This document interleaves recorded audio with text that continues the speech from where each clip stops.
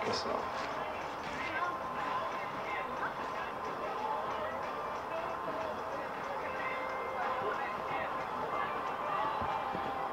Startsignal er gitt til start nummer 16. Anne Lene Rekkestad Arstad på Lord Early. De som skal holde klar, er nummer 17 Kaja Lande og nummer 18 Lina Lindbakk.